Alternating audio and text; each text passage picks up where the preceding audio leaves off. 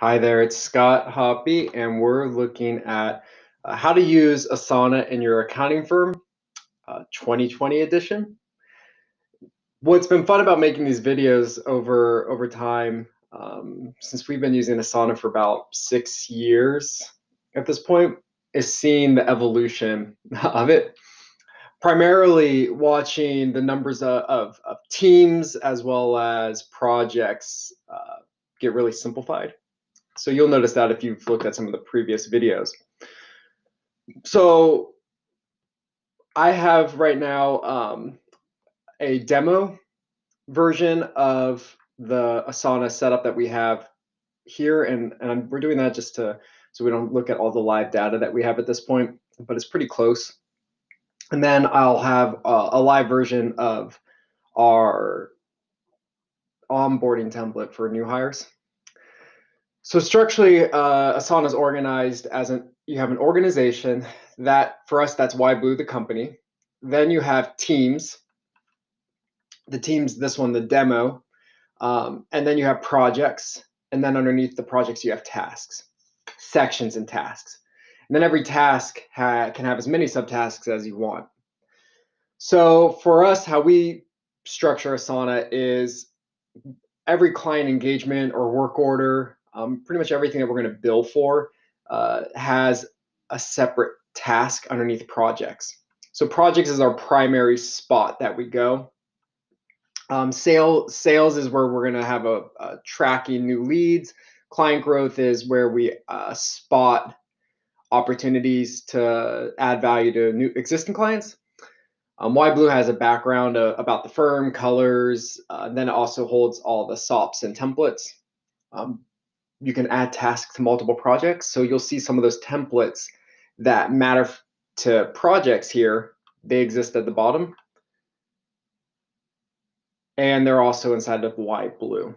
And then I have this projects archive, and that's a spot where we'll annually I'll go through all the completed tasks inside of projects and just and move them over to archive. And that's because I can set up different edit rights there. So if I want to leave the tasks so they're searchable and have that type of history kept in Asana, but I don't want others to be able to edit already completed tasks. I just I use projects for that purpose. So I can give people like comment only access or view only access. Okay. The other couple things that we have here are reports. Um, I I didn't make heavy use of them in the past, and now now they're pretty I, I consistently use these three reports. Um, two of them I post on Mondays to Slack, and one I post uh, an image of on Friday. And the other section that you'll notice has been updated is my tasks, and I've added a couple buckets there. A lot of detail uh, is written, and there's image examples in our Asana Guide article. Um, that's on our webpage. I'll also post it in the comments section here. Um, but what I'll let me still go over high level how we set up projects, and this is where we'll spend most of our time. So looking at projects, I I'm almost primarily in the list view. I barely touch board. I never touch timeline. Don't touch calendar. Definitely don't touch progress. Don't go to forms. I don't look at files and I don't look at conversations. That makes it easy. I sit here and list. Uh, and then in terms of customizing my view, for our tasks, I have sections, um, special, iterate, notices, quarterlies, returns, off dates, March 15th, blah, blah, blah, bookkeeping, templates. Okay.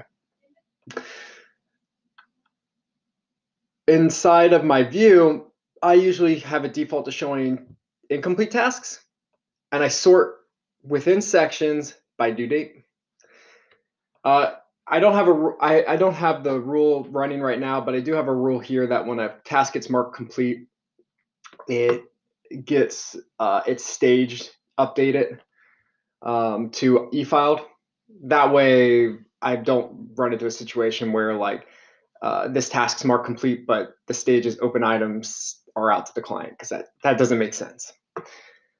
Um, in terms of apps, the connections, Google Drive, we have LinkedIn, and Slack, we connect.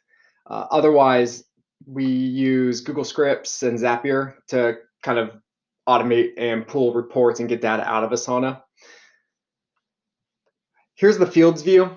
Um, the toggle switch here is just is what's visible. So let's get rid of assignee. Let's add it back. There you go. So these are the ones we show, assignee, due date, stage, date last touched, comment, pro, projects that don't show tags. Okay, the custom ones are stage, date last touch, comment, paid, date ready for prep, uh, and Slack. Okay, and the ones that I make visible here in, from the specials or the custom fields are stage, date last touch, and comment. Um, so here's our stages. Uh, there's 10 of them. There used to be like 20. so another another simplification. Uh, that for 2020, what we did was we, we we cut the list down in half. We added colors. We added emojis. The, the emojis have been such an easy way to get a read on what's going on, where a project's at. Much easier than read like than reading work in progress. Um, reading work in progress and just seeing the text versus a gear icon, it, there's just no comparison. Uh, but okay, so we have we have our tasks name our task names. Uh, I we like to put a parent. If we this we call these parent tasks. So every parent task is a work order. Every parent task represents something that's billable or work that we're doing for a client, and we give it this little uh, emoji, kind of for later on when you're looking at subtasks um, because next to the subtask name will be the parent task name. And when you add the emoji there, it just makes it really obvious that it's a subtask to a parent task. Um, assignee is the person that's responsible to seeing the project through from start to finish. They may not be doing every step, but they're the person that we're going to talk to if we're we have a question about what's going on with the project or um, uh, maybe a client question. So in this case, like we'll have a client one, client two. This is a equity tracker. Brittany's responsible. Um, there's no due date. We haven't started it. It was last touch in July, um, and it's tagged to the client. That's that's fine. Um, let's go down and look at some of the return ones though. So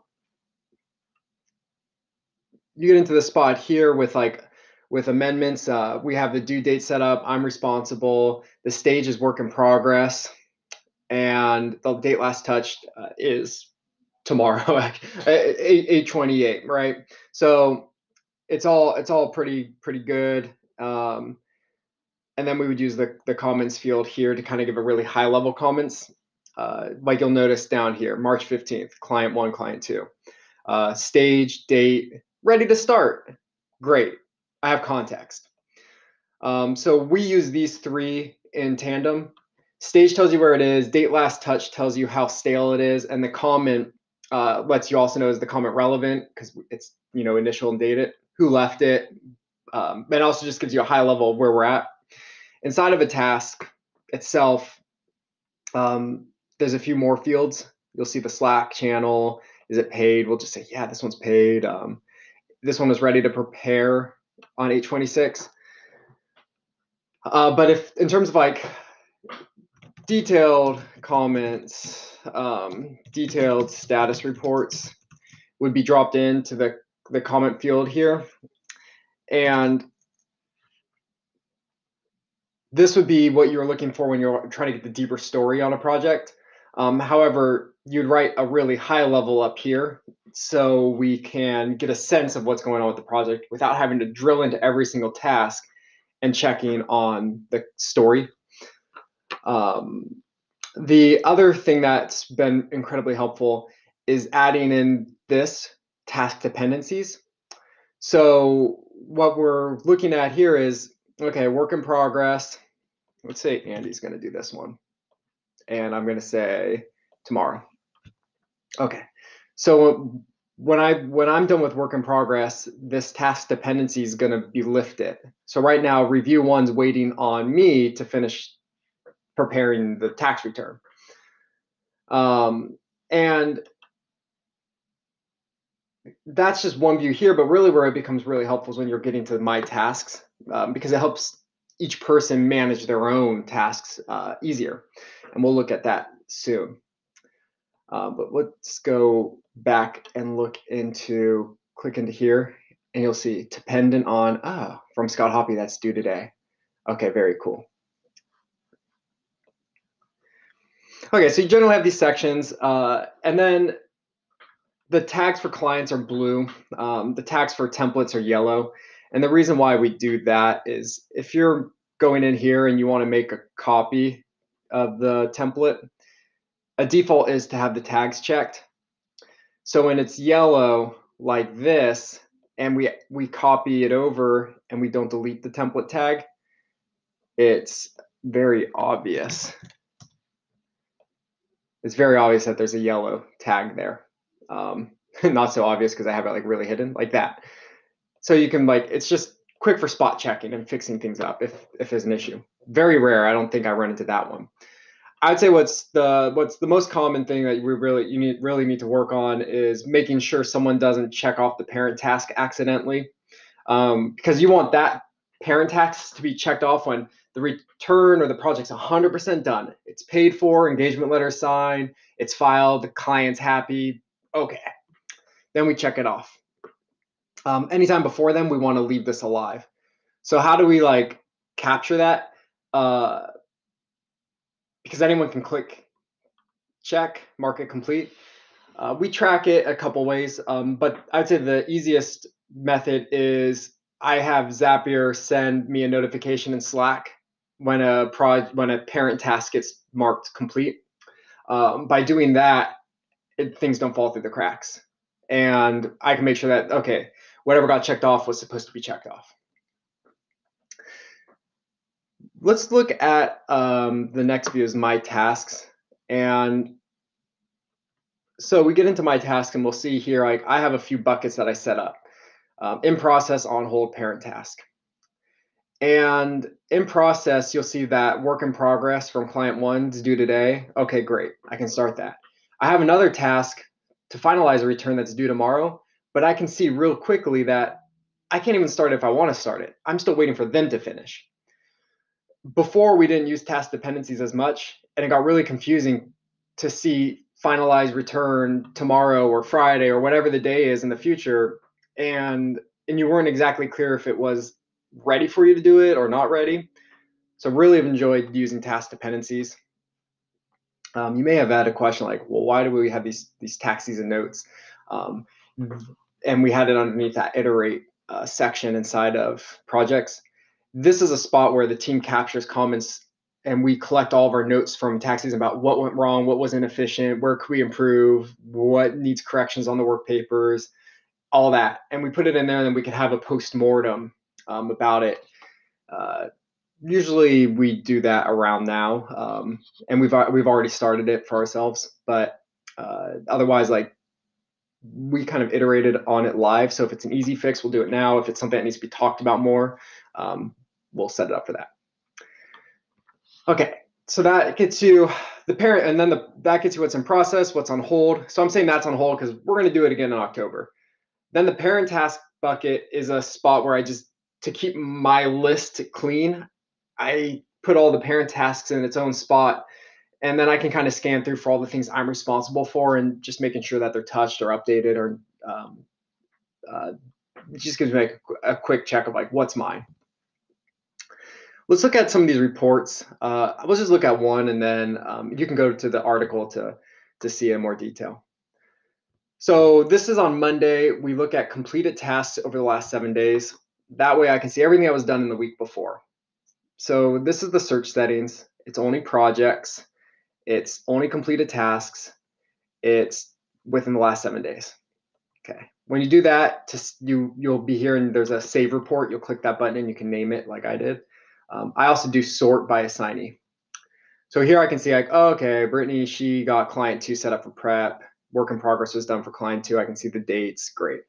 And that all happened within the last seven days um, because that's when not and it's not based off of when the due date was it's based off of when this gets checked. Same thing oh scott set up client one great those are subtasks so you, you can see how this subtask to parent task name is really helpful when there's a parent task logo. Um, and then here's the parent task by itself. And here's an unassigned ah i wanted to show you this. A tag when a client leaves go we change it from a blue color to a red color just makes it super clear that it's a past client. Same thing inside of Gmail. The client label that matches the Asana tag, it matches their Slack channel name. we changed that tag from blue to red. So when an old client emails in, it's immediately tagged red, uh, and it's really obvious that it's a, it's a past client. Okay, now we want to, we'll just take a quick peek at sales, its leads. Um, we have date last touch, I have quotes in there, I have comments all the same. If with quote, if you put in numbers, you can get like the sum total. So I kind of all of our new leads come through Calendly and then they get dropped in here. Um, the information, here we go. The information from the Calendly invite gets dropped in, great. Uh, and then I can just move people through it. They go from lead, qualified, upload started, proposal made, closed, cold. Here's some SOPs template stuff. Client growth, same thing. Um, at, throughout the year, if we if we spot something for a client, we want to talk about it. We just we just dro- drop it in here, so we at least have it, it on our radar. So like an R and D study for a client, um, we can see that. Then we'll move it through the stages. Have we emailed them about it? Have we held a pro the meeting? Has it been approved? Um, maybe we've talked about it. It's not approved. They want to do it later, like next year. we can put it into holding. Get into Why Blu uh, we have the manifesto and then all the SOPs and templates. So guides, cheat sheets, resources, all that. Um, within the goals, though, this is like our 2020 goals on sales, client growth, and how to stay ahead of competitors. Uh, we track that out um, just so we can revisit it and discuss it together. Uh, project archives you don't have to go over, but we'll switch over to um, this is our actual Asana. And there's a second team. So here's our live one, Why Blu as a team, and here's our HR, our second team that I couldn't show you uh, because that other Asana project was, or the other Asana that I was on is just a demo, and I couldn't set up a second team. So here's my second team with HR and my template for onboarding someone new. And this is this is kind of what we do, right? Uh, we I want you to see this, um, but then we send them through like, okay, go through all these stages, take three hours max, onboard yourself. We've had a lot of success with this. I highly recommend it, but I also have a separate video that um, shows the older setup that's a little bit longer, but it accomplishes the same thing. So now, you know, we have these one, section one, section two, section three, and someone can onboard by themselves. And they're, you know, the benefit is they they can walk away and be really effective pretty uh, pretty quick at the firm. Um, doesn't take a whole lot of hand holding. They can go zero to 60. We have a lot of custom integrations with Slack, with G Sheets, uh, and and having Asana get information out to like Google Data Studio for visualization. That's all way beyond the scope of you just setting things up here. Um, I think between the article and this video, you're going to get you know really really far ahead. And all you need to do if you want to sign up for Asana is I have a 10% off coupon code uh, for new subscriptions. Find that link on my on my webpage, whyblu.com. Uh, I'll also include that inside of the uh, the comments section here, and you're gonna be you're you're gonna be off to the races. So let me know if you have questions. Happy to help out. I get I get them all year long and from all over the world, which is a lot of fun. Uh, lots from the US, UK, and South Africa. so I'm, I'm happy to work with you there. Uh, I should probably give a shout out to Australia and New Zealand too. They come up quite a bit. Um, I'm happy to work with you and, and help you roll something out or get a custom integration going. Um, you can always hire us for that too. But uh, otherwise, if it's a simple question, you can bounce it off of me and I'm happy to respond. All right. Well, have a enjoy this and have a nice day. Bye bye.